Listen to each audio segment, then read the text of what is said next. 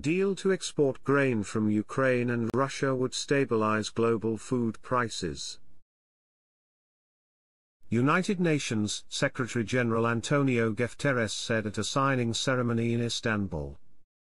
It will bring relief for developing countries on the edge of bankruptcy and the most vulnerable people on the edge of famine. And it will help stabilize global food prices, which were already at record levels even before the war, a true nightmare for developing countries. Turkish President Recep Tayyip Erdogan and government officials from Russia and Ukraine attended the ceremony. The agreement known as Black Sea Initiative would free some 22 million tons of grain and food products that have been stuck at Black Sea ports since Russia militarily invaded Ukraine on February 24 this year. Ukraine's wheat and Russian fertilizer are major commodities needed in developing countries. Guterres said the agreement, which took months to complete.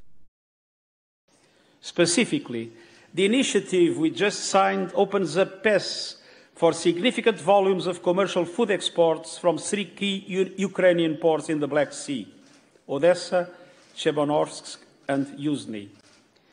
This initiative must be fully implemented because the world so desperately needs it to tackle the global food crisis. We count on the government of Turkey to maintain its critical role going forward, and I am here to pledge the full commitment of the United Nations. I urge all sides to spare no efforts to implement their commitments. We must also spare no effort for peace. This is an unprecedented agreement between two parties engaged in bloody conflict. But that conflict continues. The World Bank said in a recent analysis on commodity markets that the Ukraine war has impacted on commodity markets with an increase in prices in energy, fertilizer and foods, which were already rising in the past two years.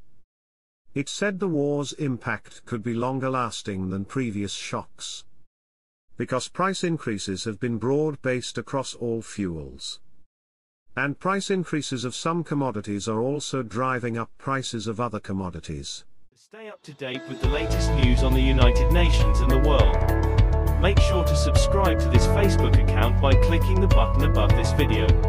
See you next time.